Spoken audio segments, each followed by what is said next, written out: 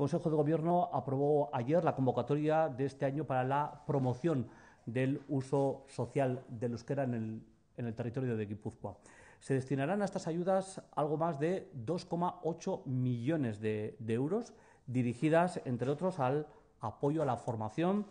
y los planes locales y a los medios de comunicación en euskera. Se ha incrementado y se ha incrementado además notablemente y se puede observar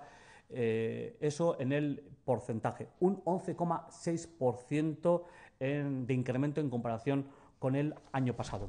Es una inversión importante, eh, porque queremos que el euskera sea un idioma vivo, un idioma vivo en la calle, en todos los ámbitos de nuestro día a día y las medidas que tomemos ahora,